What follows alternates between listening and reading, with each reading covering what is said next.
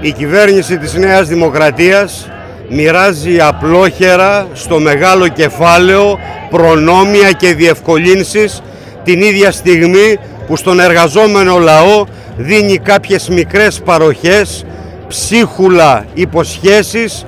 οι οποίες εξανεμίζονται την άλλη στιγμή κάτω από την έκρηξη της μεγάλης ακρίβειας, κάτω από την αλλαγή των εργασιακών σχέσεων και την ανατροπή δικαιωμάτων και κατακτήσεων δεκαετιών. Μονόδρομος για τους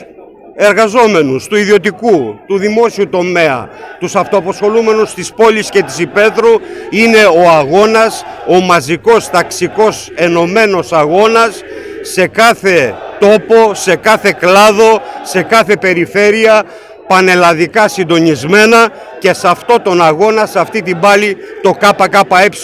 θα βρίσκεται κάθε μέρα, κάθε ώρα μπροστά.